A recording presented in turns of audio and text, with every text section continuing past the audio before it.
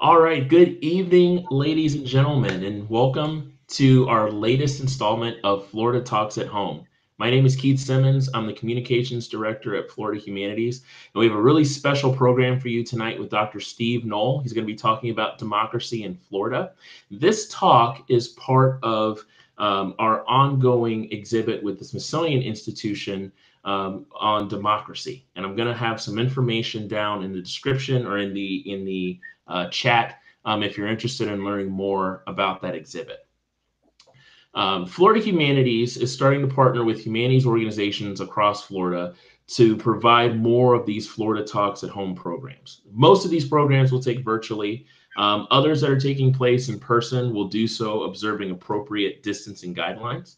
Uh, but we ultimately just want you to know about all the events that we have coming up so far in 2021. So uh, you can visit floridahumanities.org slash events to see the most current list of events that we have um, in that we have coming up right now. Uh, I want to take a moment to spotlight a series of special programs we have coming up with our friends at the Village Square and Braver Angels. Now, all of these programs are designed to help us identify political differences and develop communication skills that bridge the divide. Um, it's certainly something that's needed in the wake of our contentious election in 2020, as well as the events that occurred on January 6th of this year. Um, the first program in this series is going to take place on February 4th, and it's a conversation between Florida, for, former Florida U.S. Congressman David Jolly and Patrick Murphy. They're talking about 10 pressing political challenges that they have identified that continue to plague the American electorate today. So you can see more about that event, other events in that series, and again, all the other events that we're sponsoring in 2021 by going to floridahumanities.org slash events.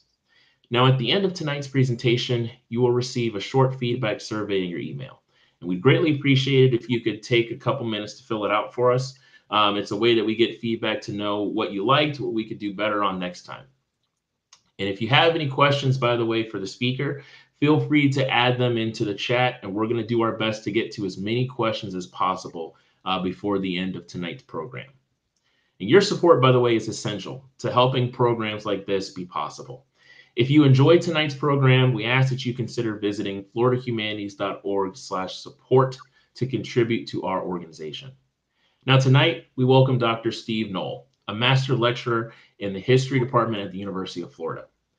Dr. Noll has written extensively on general Florida history, as well as more specialized subjects ranging from Florida's environmental policy, the ill-fated cross Florida barge canal, and the disability rights movement of the 1970s. And so with that, I'd like to welcome Dr. Noll. Thanks, Keith. Happy to be here. Um, happy to work again with Florida Humanities. It's a great organization. And as Keith has said, um, if you're a Floridian and you like the program and you like what the Humanities, Florida Humanities are doing, go to their website and please think about supporting them because what they do is really is really important within the state, especially in these times. So this program um, was developed in conjunction with a, um, an exhibit around the state through the Smithsonian and Florida Humanities and local museums called MOMS, Museums on Main Street, um, and it's called Democracy, Voices, and Votes. Um, and this um, program is that's a national one. So this exhibit could be in Florida, it could be in Nebraska, it could be in North Dakota. This um, and my talk is geared towards taking the large national picture of democracy and relating it specifically to democracy in Florida. And I titled mine um, Democracy in Florida, colon, because all great historical works have to have colons there, a work in progress. And certainly um, this work has changed rather dramatically from the first time I gave it, which was a year ago um, when we still could do things in person uh, at the Daytona um, Museum of Arts and Sciences. Things have changed. And so um, much of what I'm going to talk about, or some of what I'm going to talk about, reflects those changes um, in democracy in America and the, the events of the past two months that really have put democracy, uh, both in Florida and in the nation, uh, in peril. So, with that, I want to put the events of the past two months into some kind of historical perspective, um, both nationwide, but specifically looking at Florida. So, um, with that, um, I will start the presentation. Hopefully, my cat Weasley will not jump up here. Um, if he does on my lap, that's okay. But if he jumps in the back and destroys all my wires, we may not be finished. So, with that, um, let's start. We're going to start Florida's um, democracy um, at a time period when Florida was still uh, a colony of Spain. Um, and Florida, as a colony of Spain, uh, sees itself as a sanctuary for runaway slaves from the English colonies, first of South Carolina and later uh, in the 18th century of Georgia. And so at some point, Florida's democracy really starts even before uh, it's an English colony and before certainly it's an American nation as it encourages and entices those people who are enslaved to come to Florida and become free, to become part of a society in which they can participate um, as opposed to being enslaved people in um, in Georgia or South Carolina or even North Carolina or even Virginia, which is really strange because Florida itself is a slave society. But uh, the Spanish are encouraging and enticing these slaves to come to Florida, not so much because they care about them, but because they see this as a way of hurting the English um, opportunities within their colonies in British North America. So um, Fort Mose is the first um, fully established free black settlement in what will be the United States. Um, and it is just north of St. Augustine. It is established by runaway slaves from, as I said, Georgia and South Carolina. Um, it is established in the 1730s um, as, as part of this um, enticement by the Spanish, which started in the 1690s. So Fort Mose is this location, um, actually called Gracia, Gracia Real de Santa Teresa de Mose, um, which means established by the, the um, at the grace of the king. And Mose is the place north of St. Augustine. There's now a historic state park that you can go visit.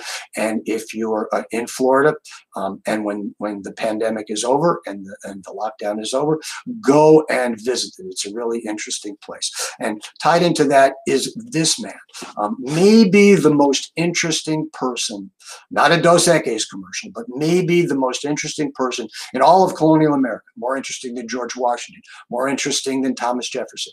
Uh, Menendez, not his original name. Uh, we don't know his original name. He's born in, in Africa.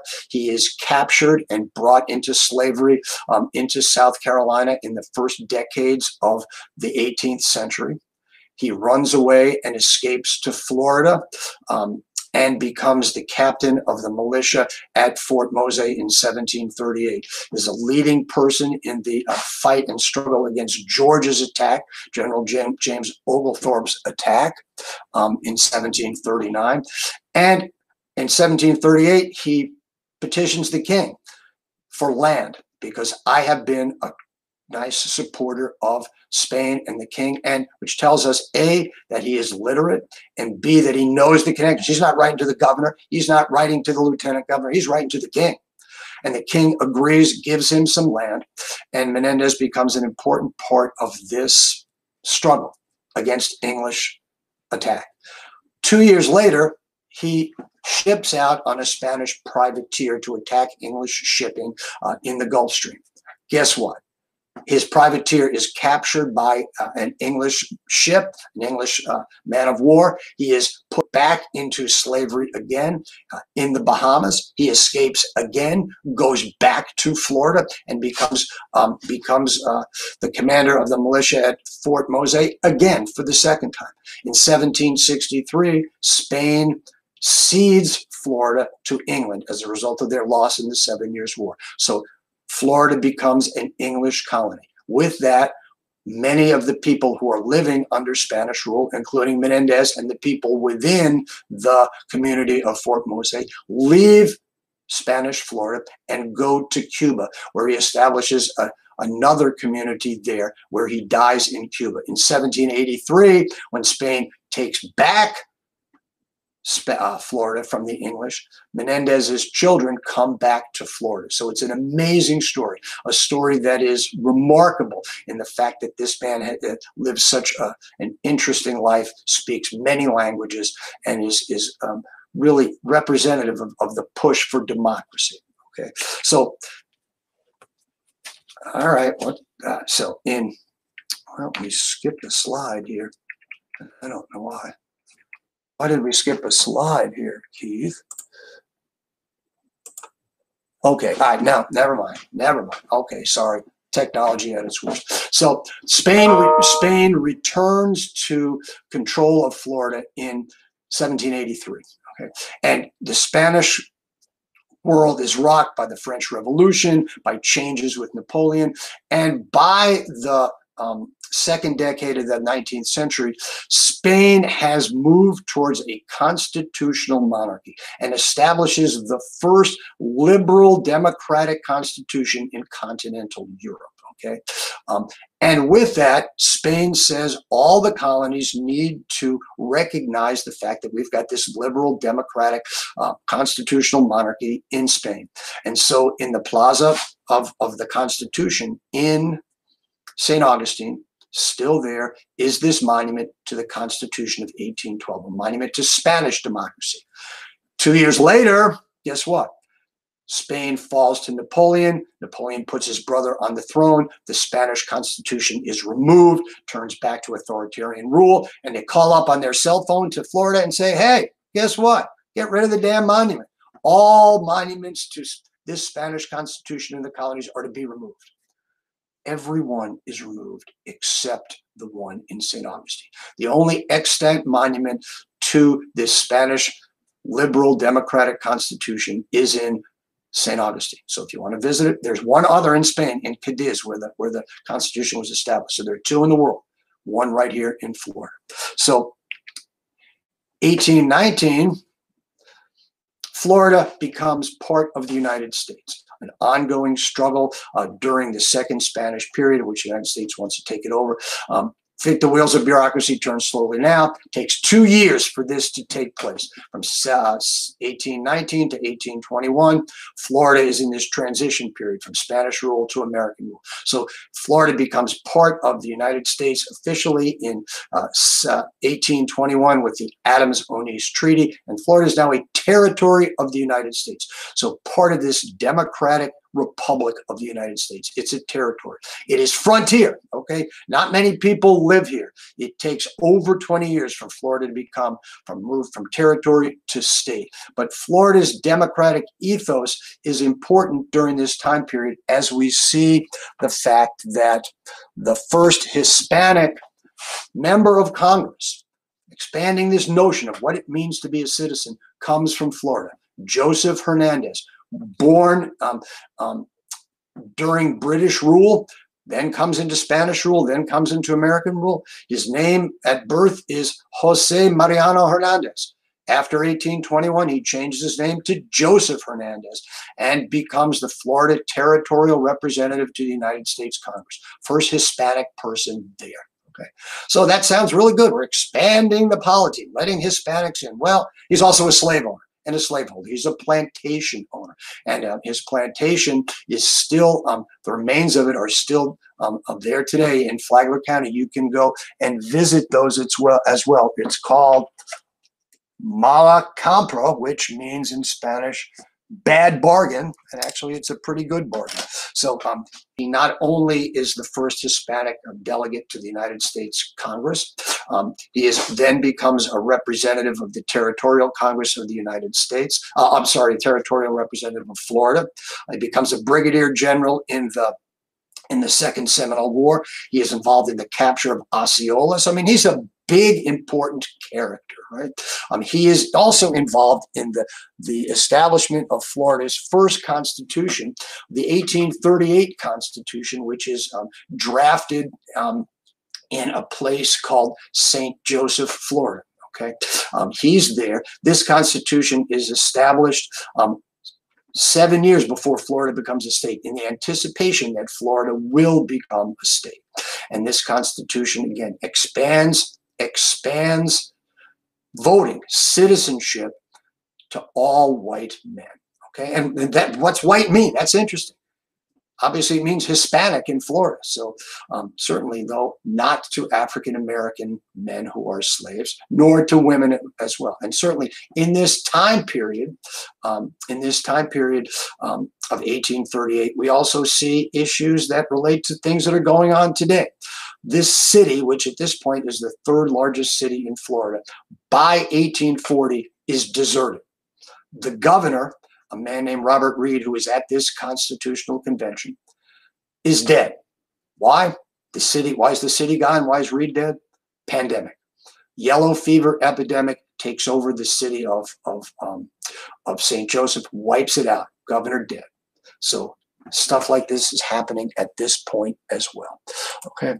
Um, Another important person in both territorial and statehood Florida during this time period from 1821 until 1860 is David Levy Yulee.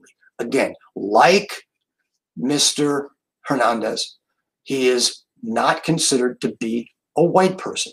He's a Jew. He's a Sephardic Jew who was born in St. Thomas, moves to Florida with his father um, Moses Levy, who establishes this strange attempt at a Jewish utopian colony in the middle of Florida, in the middle of the Second Seminole War. Bad choice on both accounts.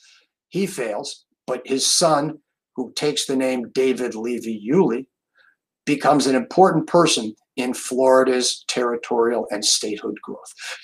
He is a plantation owner, so he is a slaveholder. He also builds the first railroad across the state of Florida. He doesn't build it, he provides the financial backing for it. His African American slaves and other hired slaves do this. And David Yulee becomes the first Jewish person to serve in the United States Congress. He is Florida's first senator when it becomes a state in 1845. So Yulee, again, an important person in expanding the notion of what it means to be a white person, a person who can vote. Okay, so Yulee is this important character. Um, the town of Yulee named after him, Levy County named after him, big thing in Fernandina named after him. So he's an important person. Um, when the Civil War comes about, he becomes, uh, joins the South. In fact, he is such an important person in the South that after the war is over, he is actually imprisoned for his support of the Confederacy. And there's rumors that on his plantation called Cottonwood, which is in Archer, Florida, just west of Gainesville, that this is where Jefferson Davis was heading when he was captured um, in Irwinville, Georgia um, at the end of the Civil War. And the rumors are that Confederate gold is hidden in cottonwood plantations. So periodically, all these characters go out there with their metal detectors looking for Confederate gold. So um, this is what Florida was, both as a territory and as a state. In 1860, to tell you how many people Florida has, it's got 140,000 people. That's almost nothing, right? But of that, 44% are African American slaves. 61,000 people are held in bondage in this state. So while Florida is democratic in the fact that it's universal white male suffrage, it is a slave state. And people say, well, Florida's not part of the South, it's just in the South. It's part of the South. Okay. So you can see from these two signs. They're auctioning off African American Negroes. Sorry, that's um, boys, men, and women on the courthouse steps in Jacksonville, Florida in 1860. And also a $50 reward, which is a significant amount of money for runaway slave in Tampa. And Tampa's in the middle of nowhere. Understand, Tampa is absolutely in the middle of nowhere when the Civil War starts. Okay, so um, while this is happening in, in 1860, Florida um, secedes from the Union and, you know, becomes part of a society based almost exclusively on white supremacy. And the president of the secession convention held in January of, um, of 1861, uh, he's from Alachua County, he's a plantation owner, and he says this, I mean, if people tell you, you, know, you go home and talk to your grandmother, talk to your grandson, and they say, oh, it's all about states' rights. Well, listen to what he says. At the South and with the people, of course, slavery is the element of all value, and the destruction of that destroys all that is of property. So important stuff. So Florida secedes from the Union in a cause that will keep African Americans in bondage. Right? War's over. Four years, Florida fights on the losing side. Governor John Milton, um, the town of Milton in the Panhandle, named after him, uh, died in the wool secessionist, um, can't stand to live in a society in which slavery will be defeated and the North has won the war.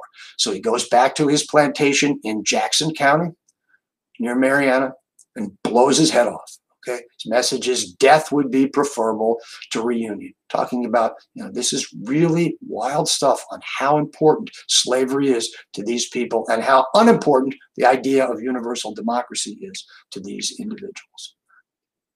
So when this is happening, the key to the Civil War is freeing the slaves. 61,000 individuals are now free. So what are they? Well, they're not slaves. We know that. 13th Amendment tells us that. But what are they? Are they citizens? Can they vote? Can they serve on juries? Can they carry weapons? Can they marry? Can they marry, God forbid, white people? This is the, the question that resonates throughout Florida and the nation for the next 150 years, and it's still resonating today. What is the place of these formerly enslaved people within a society? We know they're not slaves, but what are they? And certainly the first answer to that is the 1865 Constitution. Florida's back in the Union, right? And this is what the Constitution says. No person shall be a representative unless he be a white man. Senators shall be chosen, the, white men.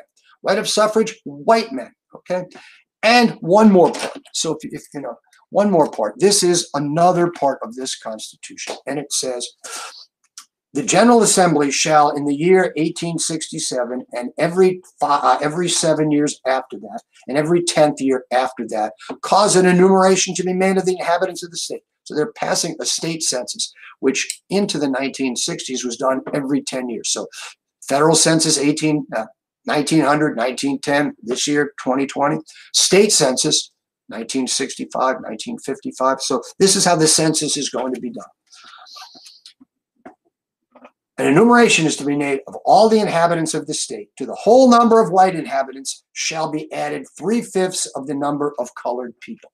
Okay, so back to the Constitution, 1787, the three fifths clause, this horrific three fifths clause that black people are three fifths. Now slavery's over, and Florida is still saying that blacks can be counted as only three fifths of a person. This is the 1865 Constitution it is rejected by the powers that be in Washington said the North won the Civil War. Black people at least have to have some rights. So three years later, a second constitution, very different. Every male person, regardless of race, color, nationality, or previous condition, shall be a citizen of the United States and be able to vote, unless, of course, they're a woman, right? So this is a very different thing and opens up Reconstruction democracy for the first time for African Americans. And on top of that, offers the opportunity for Native American Seminoles to participate in government in Tallahassee. That they should they have two seats, one in the in the House of Representatives, one in the Senate. Seminoles never participate in this, and these seats are never filled. Okay, but because of this Constitution, because of the opportunities that developed there, people like Josiah T. Walls, former slave from Virginia, now can not only participate in government and vote, but can serve in Congress. And Josiah T. Walls is Florida's first black congressman. Um, and the now the um, the election building in Alachua County, which is Gainesville, which is where Walls is from, um, is now in 2016 renamed after him. And you know, there's a marker downtown, and I used to tell my students before COVID, go and try and find the Josiah T. Walls sign um, along West University Avenue.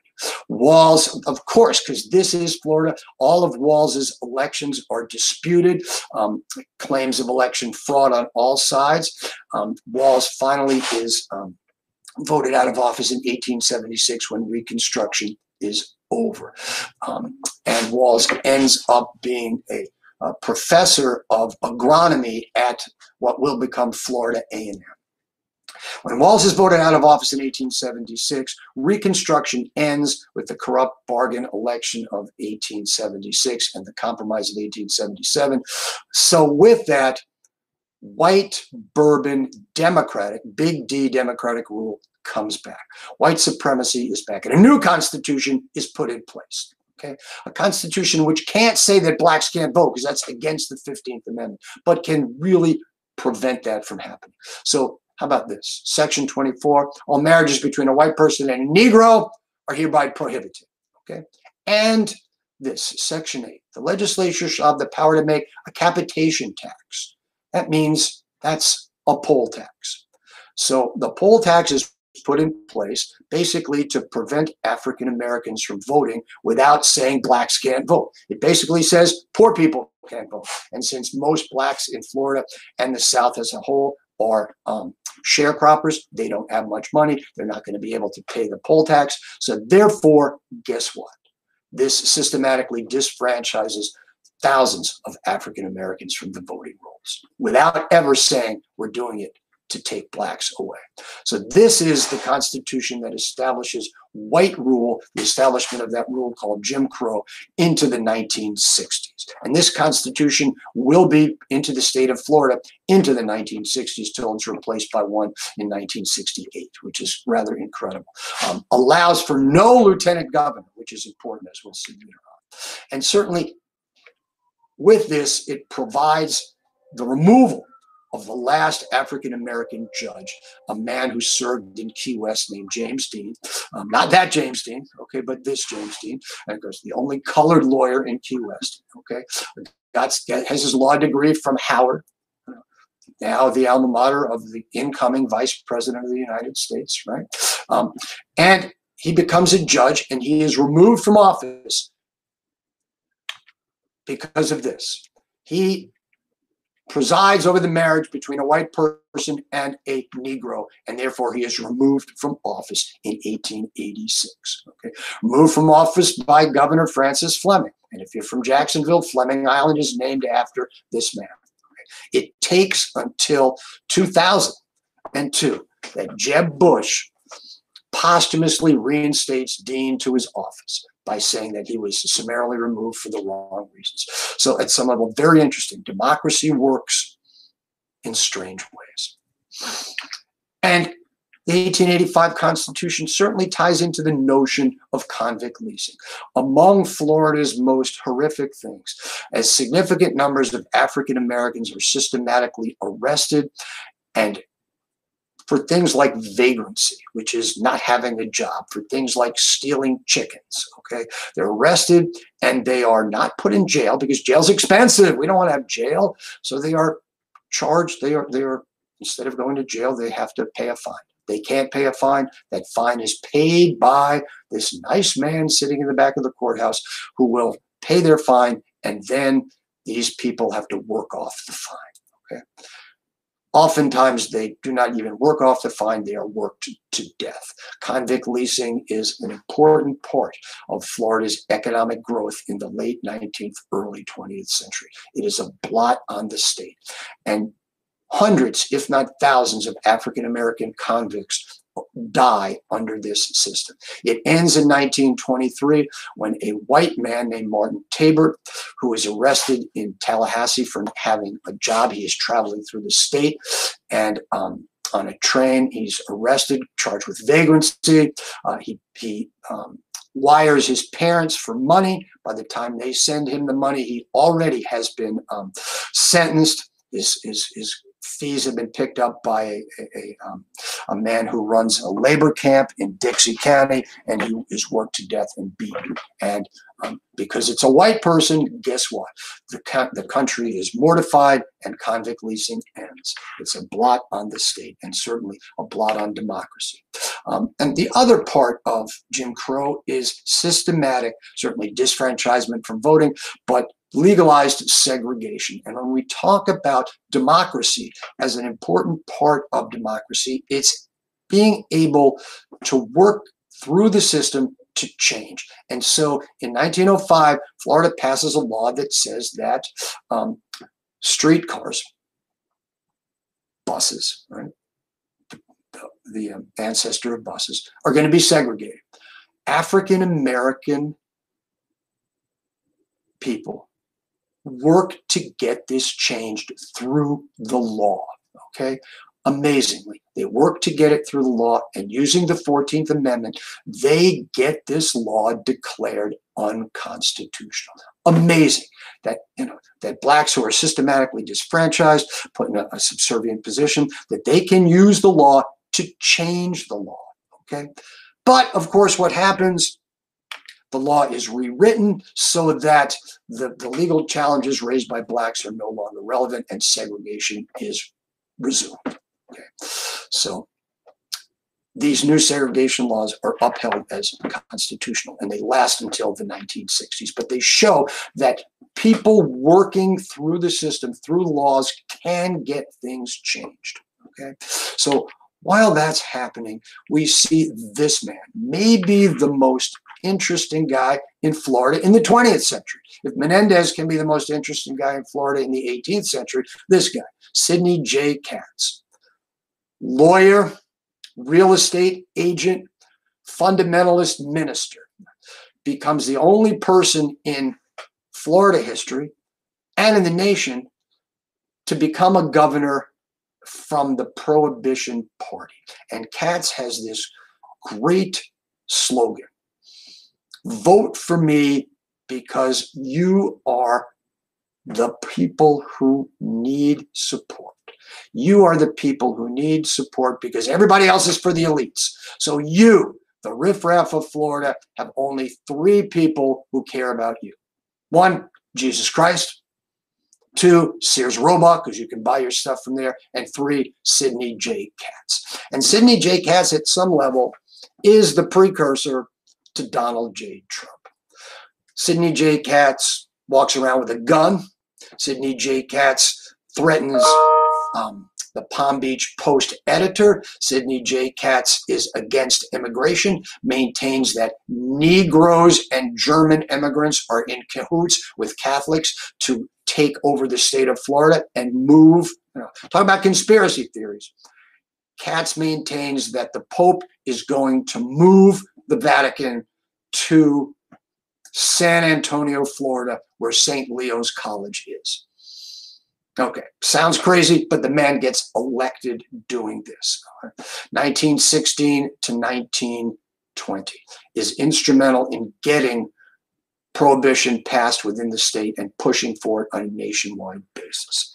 So, you know, demagoguery does not start in the late 20th and early 21st century. Catts starts it in the late early 19th, uh, in the early 1900s.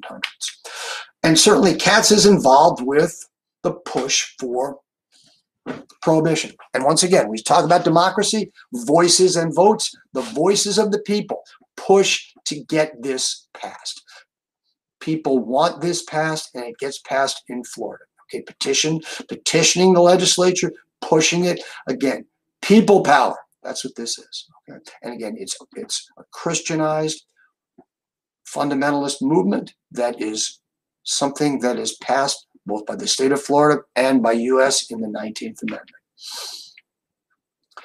Tied into all this is among the worst incidents of racial violence in the state of Florida's history.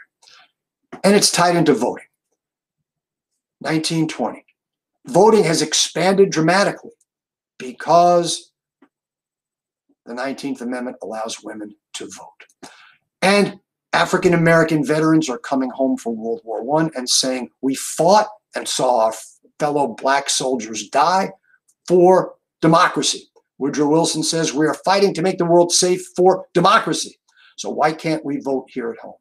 So in Ocoee, Florida, in November 1920, an African American veteran named Mose Perry decides that he wants to vote. He is prevented from voting at the voting uh, at the voting um, site. He comes back armed and says, "I have every right to vote." He is chased away from there. He ends up at the house of a man named July Perry, and Mose Norman disappears.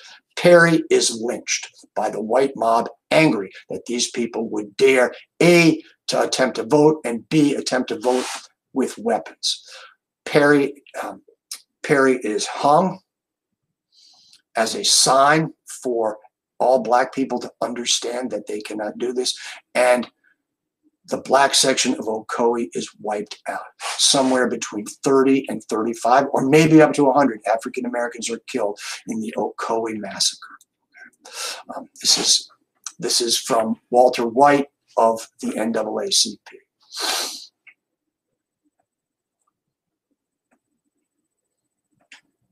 And again, not coincidental that this happens right after World War One, right after African Americans are pushing to expand their right to vote, and right after the term of Sidney J. Catts. While all this is happening, women are pushing for the right to vote. This is May Mann Jennings, among the most influential women in 20th century Florida, wife of Florida Governor um, William Jennings, um, governor in the first decade of the 20th century, but she's a lot more important and a lot more interesting than her husband. She pushes for all sorts of things. She pushes for prohibition. She pushes for um, protection of the environment. She pushes for migratory bird protection. And she pushes for women to get the right to vote. In 1920, after women get the right to vote, she becomes the head of the, the um, League of Women Voters in Florida. And you know, her husband dies early, but she dies uh, in the 1930s after um, Everglades National Park is pushed towards uh, becoming um, part of the national park system. A really important and powerful figure. Now, important because she is a governor's an ex-governor's wife, so she's got power. But she uses that position to put, push to expand democracy for women. And certainly part of this is you know, women rights to vote. This is Koreshan, uh, this bizarre um, utopian community in Southwest Florida around, around Estero, just south of Fort Myers. And again, this is a state park. Go there. Once, once the, the state opens, go to Koreshan. It's an amazing, amazing place. But this is a place in which um, this communal, utopian community in which women see themselves as equal and they push for votes for women through the voting system. And bizarrely, Florida women get to vote in state elections or in local elections in 1915. Why Fellsmere, which is um, in today in, in St. Lucie County, nobody knows. Why this woman gets to vote, nobody knows. But um, Fellsmere has women voting four years before the amendment is passed and five years before they vote in national elections for president. So women are pushing this all the way. Um, people like Mary Nolan. Mary Nolan, the oldest woman involved in uh, the National Women's Party, arrested in 1917 for participating in um, activities against the White House. And certainly, Mary Nolan is treated much more harshly than those people who were arrested for breaking into the Capitol. Okay, she is arrested for um, chaining herself to the White House fence and she is placed in a work, federal workhouse um, in, in Northern Virginia, participates in a hunger strike while there, and she is force fed. And the vision of force feeding this elderly woman um, because she refuses to um, she refuses to eat because she is not being allowed to participate democratically certainly helps change the tide. And her her quote here is really American, is really amazing. I have a nephew fighting for democracy in France. I should be proud of the honor to die in prison for the liberty of the American woman. Uh, you know, when you talk about people who fight for democracy, Mary Nolan in Florida is one of the leading hero, heroes. As is Mary McLeod Bethune. Born um, to slave parents in South Carolina, sharecroppers in 1875. She migrates to Florida just like everybody else does because it's warmer there and because there's opportunity, establishes a school for girls, which eventually will become part of Bethune-Cookman University. Um, by the 1930s, she is the most important black woman in America, part of FDR's um, part of FDR's black cabinet, good friends with Eleanor Roosevelt. But in 1920, she demands the right to vote, not just as a woman, but as a black woman.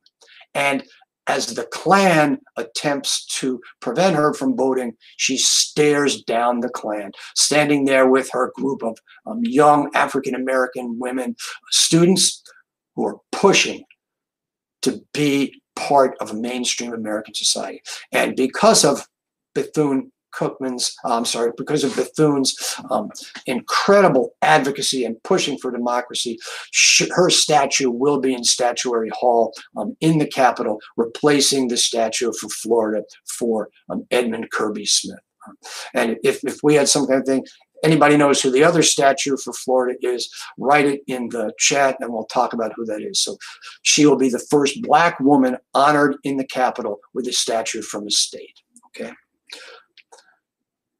This is another African American woman pushing for equal rights. This is Eartha M. M. White, um, who lives almost to 100, born in 1875, just like uh, Mary McLeod Bethune, dies in 1974, establishes the Clara White Mission to help African American women and men in Jacksonville.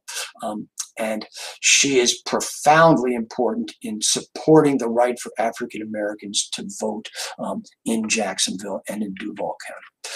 And then there's this one, which tells us the relationship of how problematic democracy is. Margaret Dreier Robins, um, a, a, veteran of the um, New York trade union wars, a, a, leader of the Women's Trade Union League, pushes for um, workplace equality for women, but also for the vote for women. And she moves to Florida with her husband um, in the 1920s, and they buy this house um, in Hernando County, which again, another place, a cool, cool, cool place to go to visit um, called Chinsegut Hill. And when, when, you talk about irony, and I love talking about irony, this is an original um, 1850s plantation home owned by a man who owned African American slaves, um, and it is bought by the um, by um, the Robins husband and wife, and they um, push for um, they push for equality for African Americans and for women so that they can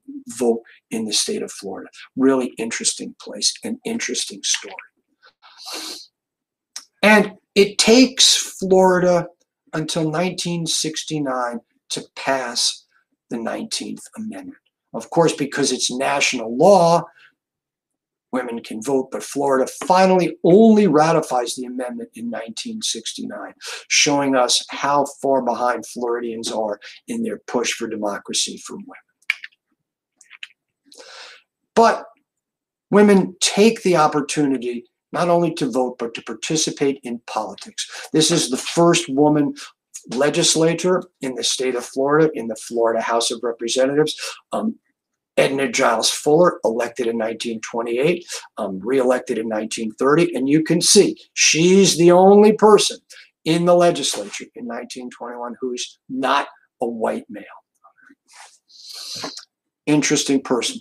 Participates in helping um, prepare for World War One, participates in helping prepare for World War II as well. And then there's this woman, Ruth Bryan Owen, daughter of William Jennings Bryan, um, Democratic candidate for president like 11 times. Um, she moves to Florida because just like everybody else does, you know, it's warmer there. She comes from Nebraska. Who the hell wants to live in Nebraska in January, right? It's cold enough in Florida in January, right? Um, and she runs for federal representative in 1926, the first woman to ever run for that. She loses, but in 1928, she wins the election, becomes the first woman, um, Florida, woman to represent Florida in the United States House of Representatives. She wins again in 1930. She loses in 1932 because she is a prohibitionist, and prohibition is is seen now as, as problematic. Um, as the Great Depression is coming around and we need to get money for um, money for taxation for liquor. But of course, this is Florida, and her election is contested. Contested by a man who maintains that because Ruth Bryan Owen is married to an Englishman, she is not an American citizen. of course, there's the phone, because I have a landline. So we'll just turn it on. Sorry. Um, Owen counters by saying this rule never would have credence if it was regarded for a male. And Congress takes it up and says that yes, she can serve in Congress, but it's contested. So again, the movement towards democracy is always a, battle of contestation. After she after she serves in Congress, she becomes the first female um, to become an ambassador for the United States, becomes ambassador of, to the uh, to the nation of Denmark. So a profoundly important person within the state as is this woman, Mary Lou Baker, another um, representative who serves um, in the state uh, House of Representatives uh, for two terms during the war, during the war, and pushes this thing called the Women's Bill of Rights, which says that women can carry on business while their husbands are away at war. Profoundly important emancipating women at some level, saying they're not under the control of their husband. The bill passes remarkably, and she is now installed in the Florida Women's Hall of Fame. Um, the other thing that she does is she does not have the name of her husband. She has her own maiden name. And in 1944, when she's running, her opponent says, What kind of person are you? All women have the names of their husband. And she says, I want to run on my name. My husband's serving in the war. He's overseas, and I don't want you guys to vote for me because you think my husband is fighting for the nation. I want you to vote for me because of who I am. So profoundly ahead of her time. Um, amazing and expand, again, expanding democracy. While that's going on, while Baker is serving in the Florida legislature, things are changing dramatically nationwide. Um, in a Supreme Court case, 1944 in Texas, called Smith versus Allwright, the all-white primary is declared unconstitutional. Now blacks can actually be involved in the primary situation. So therefore, previously, Republicans in the South were like nothing. So if you can't run as a Democrat, you might as well not run. This opens up opportunities in the South in general and Florida in particular, specifically for this man, Harry T. Moore. Harry T. Moore, head of two organizations, the NAACP in Florida and this organization that he establishes called the PVL, the Progressive Voters League. And he registers thousands, thousands of African Americans to be able to run, to be able to vote in the Democratic primary in the late 1940s into the early 1950s. For, for doing this, on Christmas Day 1951, his house is bombed, he is killed, his wife dies three days later. The murder has never been solved. You know, assumptions are that the Klan does it, and assumptions are that even though this is in in um, Brevard County in a town called Mims, that the white supremacist sheriff of Lake County, a man named Willis McCall, was in, intimately involved in Moore's murder. So, you know, the book about Moore is called Before His Time because 1951 is before the civil rights movement really started, and Moore does not get near the credit he deserves for being an advocate for democracy in the state of Florida and nationwide. And then there's this guy, mayor of mayor of Daytona Beach in the 1930s. And Armstrong breaks ground with most Southern people by allowing African Americans to participate in voting in Daytona. Unlike almost every black in the, in the South, they can vote on local elections. Why? Because he wants their votes to be able to keep him in office. And certainly his relationship to Mary McLeod Bethune is profoundly important. She thinks this guy's wonderful. He's running a political machine, but it's a political machine that's helping both whites and blacks in Daytona. And you can see um, that's Bethune's letter in 1929, how important um, Armstrong is. But you know, here we go. We talk about what just happened, happening in Florida. City Hall and Armed Fortress. Coppers hold riot guns at windows. The Battle of Daytona Beach over whether to remove Edward Armstrong from office or not. Okay? Crazy, crazy, crazy stuff. And tells us that what happened in the past month isn't an anomaly within American politics. Okay? And Florida politics in particular. As, as exemplified by the pork chop gang. These are rural, white, North Florida Democratic politicians who are determined to keep themselves in power and determined to ensure that they remain the brokers of the state. in spite of the fact that increasing numbers of people are moving to South Florida. And by the 1940s, these guys are maintaining their hold by malapportioning the state. Florida is the most malapportioned state in the country, which means that there is the same number of representatives from Baker County, which has like seven people, as Dade County, which has like seven trillion people. And the leader of the pork chop gang is this man, Charlie Johns. Charlie Johns, um, as I said before, Charlie Johns becomes governor because the governor dies. There is no lieutenant governor. He's president of the Senate. He becomes acting governor in the mid 1950s. After he steps down from governor, he runs for governor again and loses, goes back to the Senate, and establishes among the worst examples of anti democratic politics in the state of Florida the Florida Legislative Investigative Committee, otherwise known as the Johns Committee, attempting to determine whether communists are infiltrating the NAACP and the civil rights movement. When they find that that's not the case, they move towards attempting to root out homosexuality in Florida public schools and universities. Um, and in 1963, the Florida Legislative Investigative Committee, the Johns Committee, publishes this lurid pamphlet known as the Purple Pamphlet Homosexuality and Citizenship in Florida that these people are menaces to the state, menaces to the nation. Johns eventually has to be, um, is not removed from office, but Johns, Jones's, uh, Johns's power is reduced, and this becomes at some level a blot on the state, and it still is today.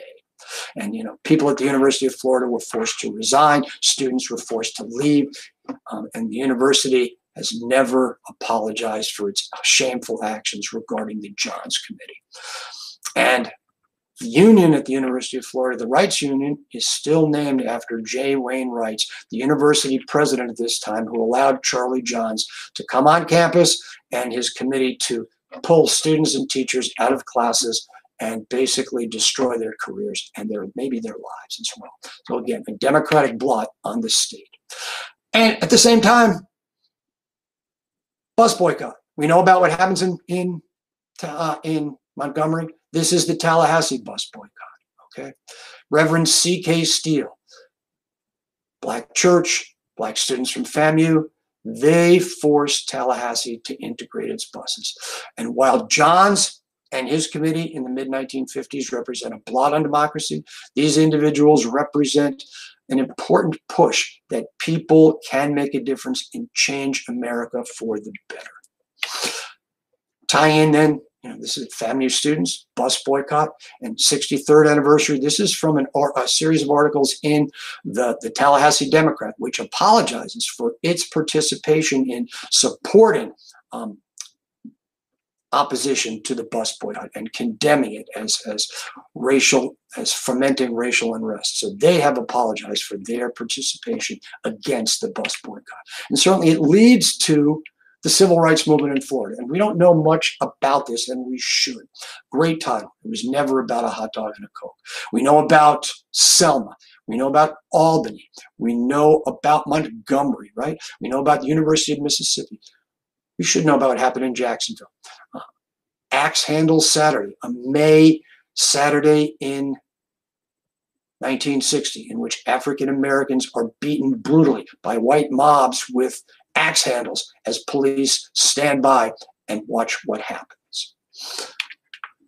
St. Augustine, 1963 1964, in which African Americans attempt to integrate beaches and pools, and they are met with the owner of the Monson Motel pouring muriatic acid in the pool.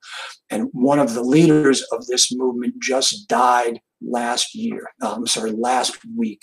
Um, and it, crazy. I mean, this is to tell you how she got involved. She was a young woman in Southwest Georgia, involved in the movement struggle. They asked her to come to St. Augustine to help integrate these pools because guess what? She could swim. So she was brought down there. And,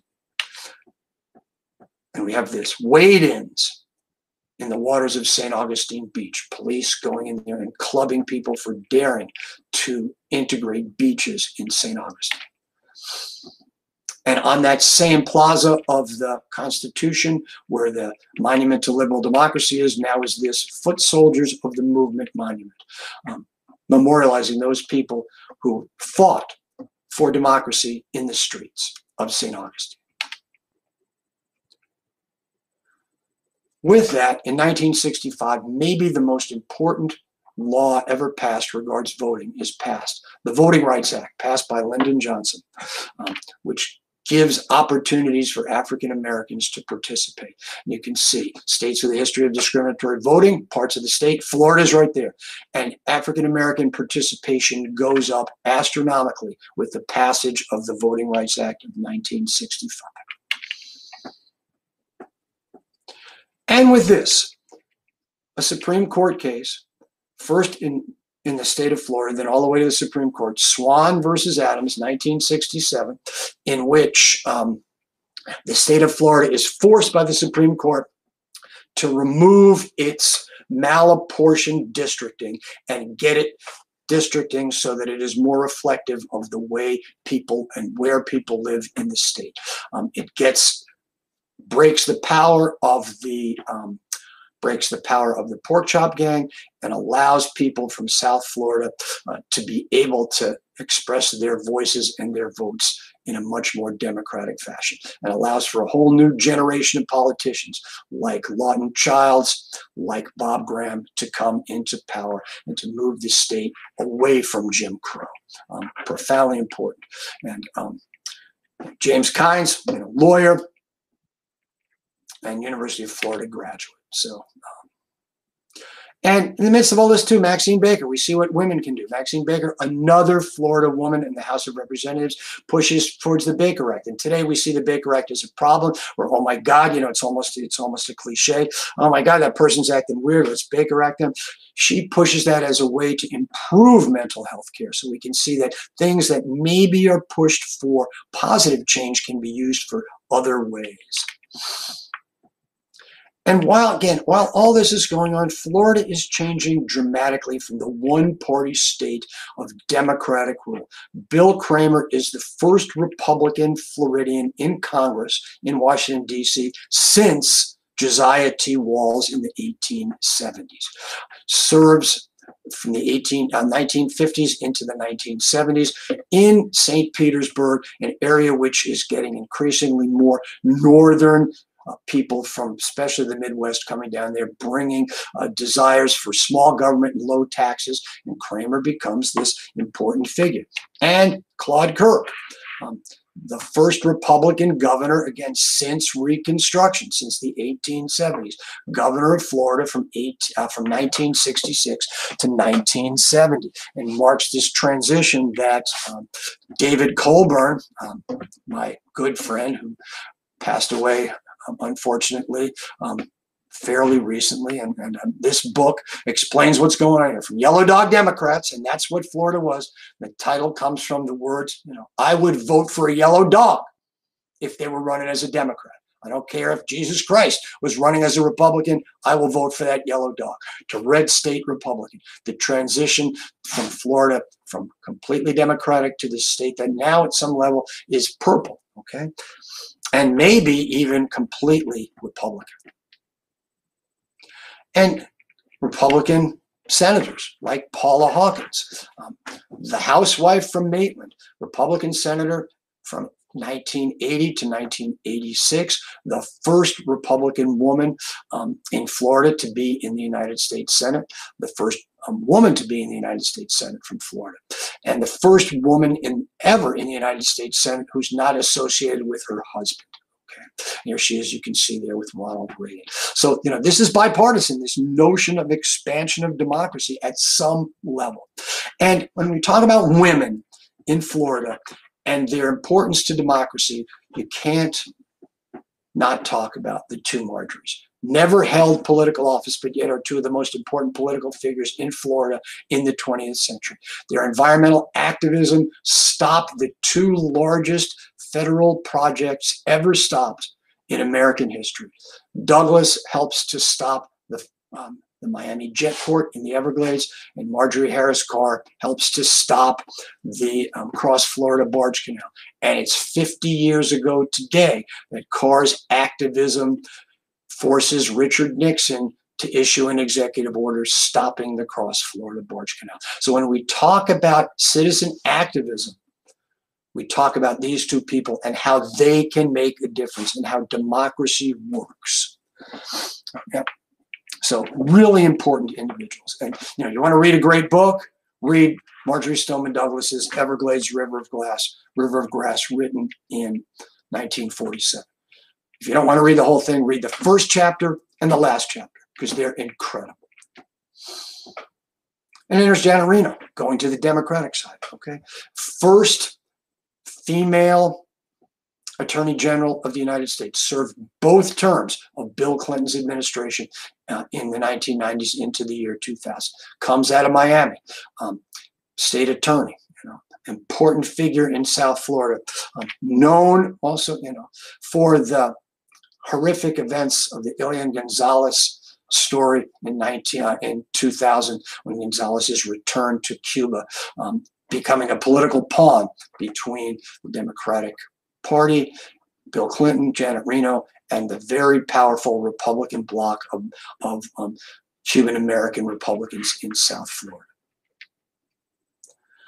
And when we talk about democracy, we talk about the expansion of what it means to be a citizen. And certainly that has to do with people with disabilities.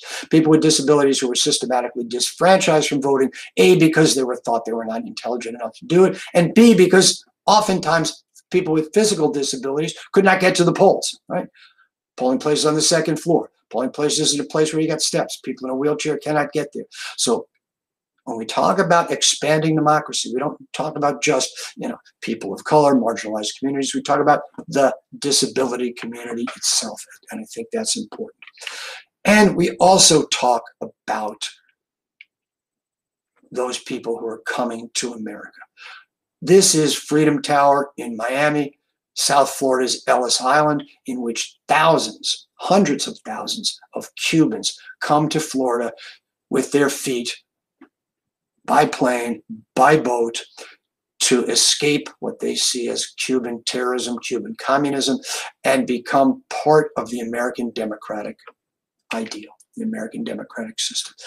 Become American citizens and participate in democracy. And with that, we have again Cuban politicians. Mel Martinez, who comes in here um, in the 1960s as part of this um, incredible program called Operation Peter Pan. Marco Rubio, who will tell us that he comes here to escape Cuban communism. His parents came in 1956. Cuba doesn't become communist until 1960. Tell us the truth, Marco. Sorry. Um, Mel Martinez, the first Cuban American to be elected to, to the Senate. Ileana Ros-Lehtinen, the first Cuban American woman to be elected to the House of Representatives, serves 14 consecutive terms. Last term is is in um, ends up in 2018. So important figures, and not just Cuban Americans serving from Florida, but Haitian Americans, the first Haitian Americans to serve as um, mayors of American cities, as um, as um, which is Philip DeRoche, mayor of North Miami, and Josaphat Celestin, who is the first first, uh, first Haitian American to actually serve um, in any position within a city in Dade County. So not just Cuban Americans, but Haitian Americans as well, serving, uh, escaping their lands and coming and becoming part of the American democratic system. And then there's 2000. We talk about democracy in Florida. You can't not mention what happens in 2000 confusion at the polls, voter suppression, bad ballots, the butterfly ballots. Florida becomes a laughingstock. Florida is the state which wins the election for George W. Bush uh, by the narrowest of margins, less than a thousand people. Okay, and you know, when we talk about problems in voting, this is the original problem here, right? 2000. And since that point, Florida has worked towards restricting voting laws. While the Voting Act, Rights Act of 1965 expands voting, Florida has passed restrictive laws since that time to prevent people from voting. And mostly it's about Amendment 4. Florida passes Amendment 4 so that felons can, who have served their sentence, can be allowed to be back on the voting rolls. This was passed as Amendment 4. Florida is still in the process of attempting to put these people back on the rolls, and they have not been able to do that. You can see how many individuals in Florida, compared to every other state, are not allowed to vote because they have a felony record and they have served their sentence. Okay. So voting's a right. Voting is a right. Voting is an opportunity for black people, for white people, for poor people, for wealthy people. Democracy matters. Okay, democracy matters. And voting rights are civil rights for those people who are working in the fields of Immokalee or those people who are living in the villages. Voting is a right, and it's part of that democratic process. And this is where my talk ended three weeks ago, four weeks ago, five weeks ago. I voted. I voted. The importance of voting. Vote here. This is where it ended. But then this happened earlier this month. Democracy under attack. Democracy under attack. And I don't want to get into the politics of this, but it is truly awful that we had to witness this, that the democratic process is being subverted by people attempting to take the law into their own hands, by people desecrating the halls of Congress, by people marching with the flag of white supremacy, by people dressed like Halloween, for God's sake, and for Floridians who think this is a game. Okay, and this picture's in here because this is a Floridian.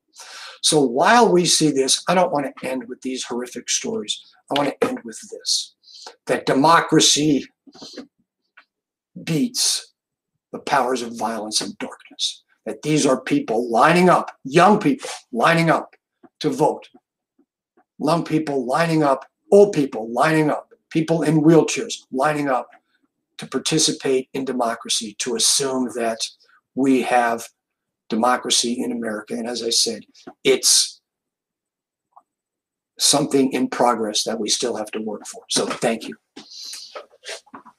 Thank you so much, Dr. Noll, for that really fantastic presentation. Um, I'm sorry it was so long.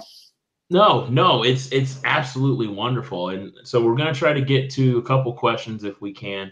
Again, if you do have any questions for Dr. Noll, feel free to type them down in the chat and then we'll uh, try to get to as many as possible. Um, I do want to address one of the questions that was asked early on, which is about this notion of backdoor politics and having it be around since around 18th century, like the 1760s. Oh yeah, I, I, I think it was. It's been around forever. You know, certainly, certainly, um, backdoor politics, the politics of wealth and privilege, uh, have been around forever. And um, the assumption is that we have to expand the political system and allow other people to, to, to participate. Um, and that is done through peaceful protests. And I think, yes, it has been around forever. And certainly um, the fact that, you know, we look at, at, we look at people and the relationship, um, you know, this guy's father served here, this guy's uncle served here, and that's okay, you know.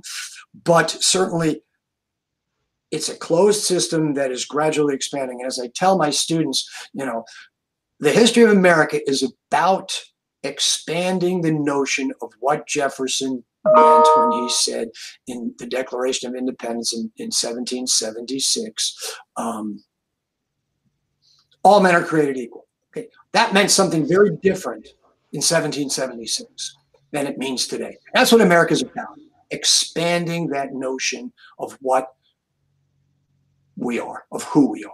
And that's what it's about. So Absolutely. And, you know, one of the other things I wanted to um, talk about this evening, we talked about this before we came on the air, some of the uh, things that you specialize in as a historian. And, and one of those particular areas is um, the, the history of disability. And I wonder if you could just tell our audience um, how you first got interested in studying the history of disability and some of the things that you sort of learned that might have surprised you or uh, things that you just didn't really expect when you started well, to, to... well okay you know at, at some level um, i got involved in the history of disability because I, I, worked at a summer camp in high school and college for for um, kids with um, with intellectual disabilities, and and um, I got involved in it and interested in, and and then ended up teaching special education in the public schools of Alachua County um, after I came down here to Florida before I came full time to UF. But I think to me the most interesting thing is that there is a disability rights movement.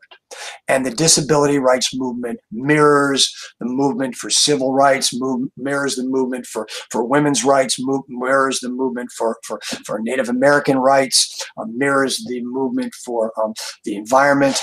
Um, and things like the, the ADA, the American with Disabilities Act, passed in, in um, 1990, you know, the assumption is, well, you know, every every able-bodied person saw how problematic it was and how hard it is for people with disabilities, so we're going to help them.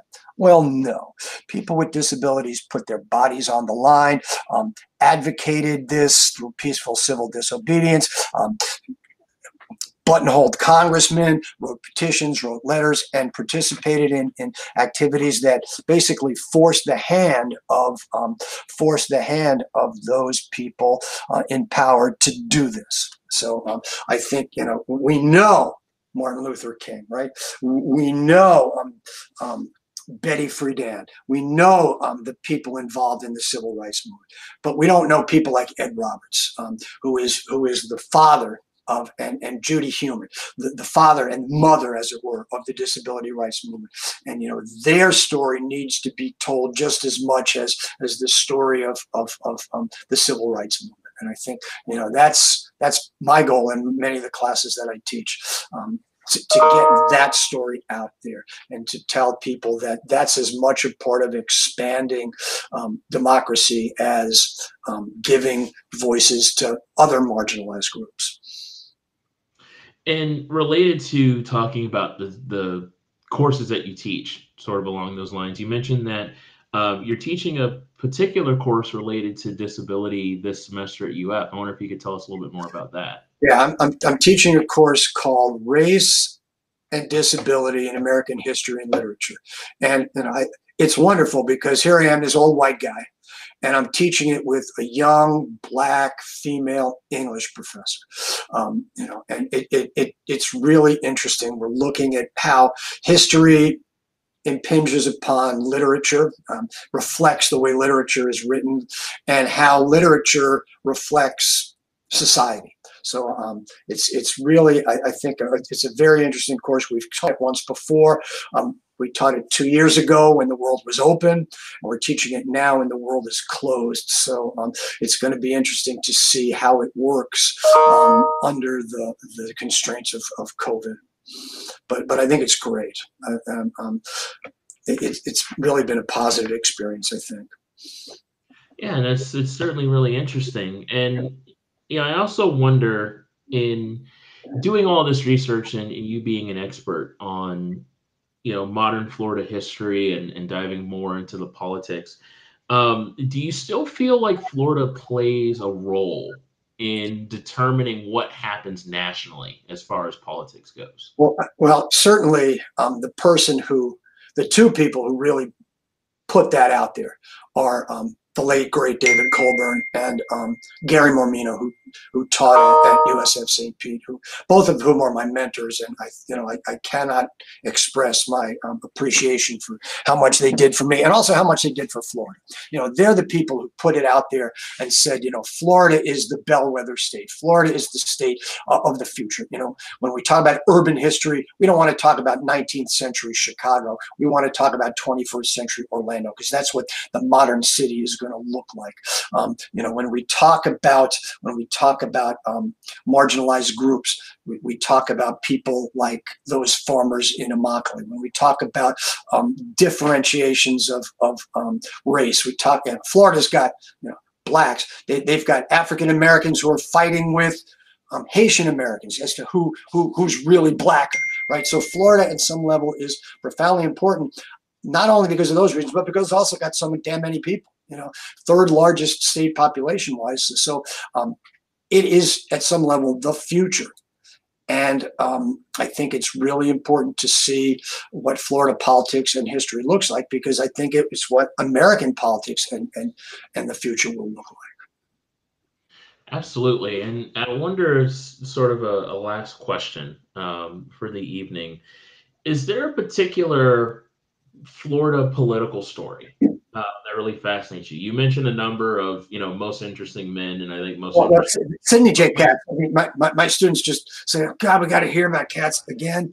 Um, oh my God, you know, I think Catts's story and, and his um, is profoundly important. Um, I, I think the, the, story of Harry T. Moore and, and, the black struggle for freedom is, is what is, is, is really important. Um, but but maybe the story of Marjorie Harris Carr and, and her her use of the legislature. And just the, the great story of Carr is, and I've heard this from maybe five different um, powerful men in in both government bureaucracy but also elected officials, and their thing was if you ever see Marjorie Harris Carr, try to make sure you're not wearing a tie. Because Marion, uh, because um, Marjorie Harris Carr would come up to you and grab that tie and hold on to that tie and would not let go until you had to listen to her talk about protecting the Florida environment. Then she would let go of your tie. So I think that's a great story. I don't know how it would fly today, but certainly, you know, it's it's a great story. So um, I think, you know, and that that's what what this stuff is about. It's about making a difference through particip- through citizen activism and participation. You know, no one thought that Marjory Stoneman Douglas could stop the jet port in South Florida. Nobody thought that um, the civil rights movement in St. Augustine could stop Jim Crow. And yet, you know, they did. Is there work yet to be done? Profoundly, based upon what happened earlier this month. There's lots of work to be done. But certainly, you know, the hope and possibility of an expanded polity is profoundly important and energizing. I mean, no question about it. And I think you you laid out a really energizing story um, in your presentation tonight. So again, we're really grateful for that. Um, I did provide a link to the op-ed that you wrote um, in the Tampa Bay Times in the chat. So anyone who is interested can yeah. read more about Marjorie Harris Carr and and uh, her work to stop the the cross uh, Florida barge canal. The interesting thing about that thing is that for three days it was the most the most viewed link on the Tampa Bay Times site, um, which tells you that people are, are still concerned about environmental issues. Um, and I think that that's at, at, a time in which the assumptions are that it's not. I think it's important. Yeah. Absolutely. So again, thank you so much for a really fantastic um, uh, program with us this evening, and for everyone who's at home and, and joining, thank you again for participating with us as well. As I mentioned at the beginning of this program, you will receive a short survey um, just asking how we did and ways that we can improve next time. And if you're curious about more programs that we're doing around the state, you can go to floridahumanities.org slash events to see the most up-to-date list of events on our events calendar. So again, thank you so much for joining this evening. And, let, me, let me bring in let me bring in Hugh. This is Hugh. this is Hugh Manatee. And Hugh is the mascot of all my programs with Florida Humanities and with my summer programs with with UF Humanities. So Hugh's here with me, and um, he enjoyed the program as well. So thank you guys. Um, and for my students who are there, thank you guys. I realize you came here for the extra credit, but hopefully, um, hopefully it was worthwhile. So thanks. Absolutely, and we're looking forward to seeing you and Hugh again, hopefully in person sometime soon. Thanks. Yeah, yeah. Let's hope. Let's hope. Thanks. All right.